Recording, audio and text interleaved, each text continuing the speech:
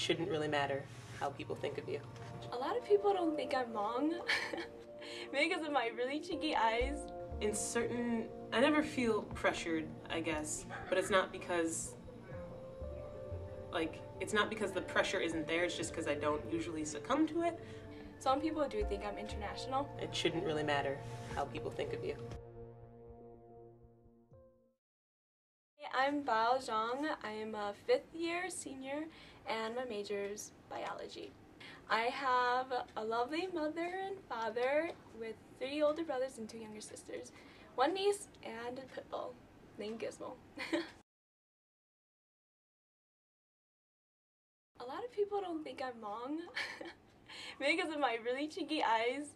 So I've had a Chinese person sp spoken like Chinese to me because they thought I was Chinese and I'm not Chinese. But I'm Hmong, so I think a lot of people, like being here at UW Stevens Point, some people do think I'm international. And so, yeah, it's kind of weird, but I think it's kind of cool. But I'm Hmong, and, and I love being Hmong, so I try to portray my Hmong culture a lot too. My name is Kaya Hardy, and I am a senior, um, an English major with poli sci and technical writing minors. I live with my mom and stepdad, and I grew up with my three older brothers and my two younger brothers, um, but they are actually my cousins, and we adopted them. So five brothers in the house, and then I have two stepbrothers and two stepsisters that live in a different state, and they're all quite a bit older than us. So. And you're mixed, right? I am mixed, yes.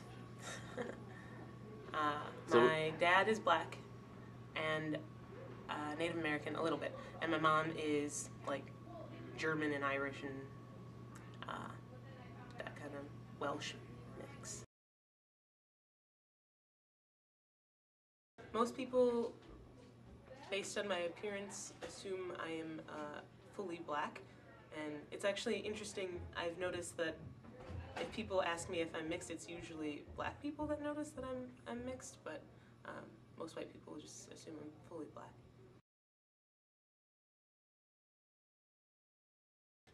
Um, growing up, I learned a lot of like Hmong, and so I didn't really know English. So English is my second language. But then as I learned more English, my Hmong went down. So like, I spoke less Hmong, and I think because I'm older now, and like a lot of our generation, we can't speak Hmong, and we don't know much about culture. Like a lot of the um, OGs, which is old generation, which is like your elders and your grandparents, your parents, they always stress that we should know Hmong culture and the language and everything. So I think that um, that does play a big role in my life because that is really true. Like I don't know much about Hmong culture because I was brought I was brought up in like American culture. Okay, so I guess in certain, I never feel pressured, I guess, but it's not because, like, it's not because the pressure isn't there, it's just because I don't usually succumb to it. But I think sometimes, um, like,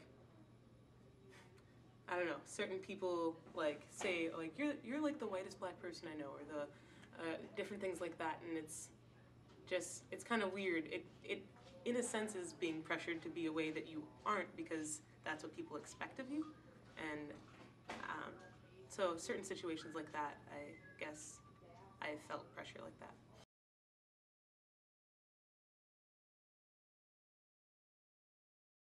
Yeah, I think right now, like I'm more Hmong than American because I don't really define myself as American because I don't really think about it. Because when people do ask me, I always go straight, oh, I'm just Hmong. Like I don't say I'm Hmong American. when i was younger i did kind of i don't want to say shun black culture but like i always was wary of fulfilling stereotypes because i don't know some of them are negative and i just didn't ever want to have that um, i didn't want people to put stereotypes on me so sometimes i completely try to keep myself away from them but uh, i don't know sometimes it was negatively affecting like i mean it's something that Um, it shouldn't really matter how people think of you.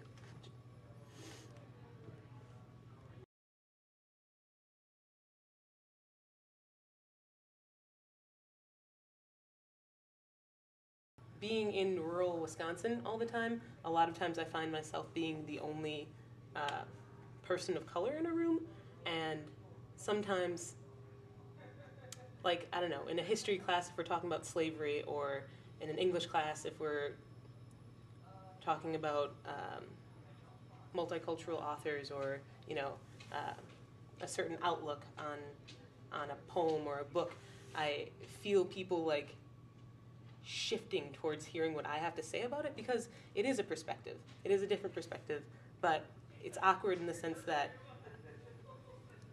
being somebody who is very culturally white, uh, it's weird to be expected to have the perspective of somebody who's culturally black. And I feel like that happens that happens when race is brought up in certain classes. So um, I don't know. I feel like I forgot the question at this point.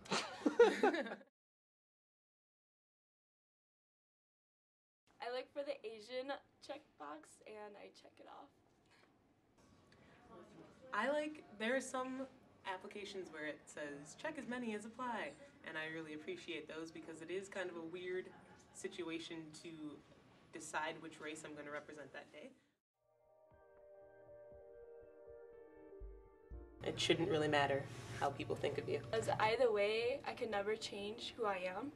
I'm still Hmong in the end.